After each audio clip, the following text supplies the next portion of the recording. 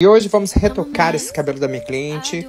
Ela estava grávida e no dia que ela ia fazer o retoque, gente, ela não conseguiu ir porque ela foi ter o bebê dela.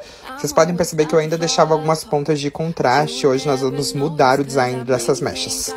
Eu utilizei a técnica Air Touch, onde que eu uso o secador para separar os fios mais longos, que serão descoloridos, dos fios mais curtos, que vão deixar o contraste.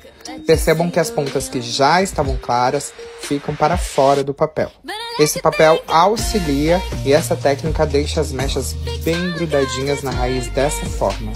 Sem marcação, sem aqueles códigos de barra e o fundo de clareamento fica perfeito, do começo até o final.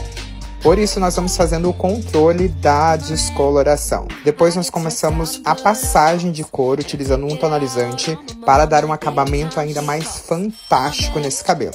Depois do tempo de ação, aí nós tonalizamos o cabelo inteiro e chegou a hora da gente conferir esse resultado.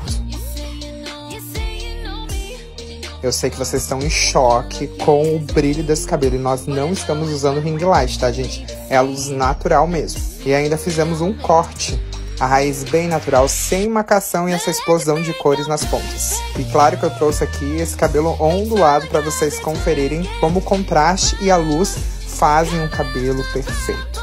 Não deixe de conferir meu e-book, hein? Link na bio. Tchau, tchau.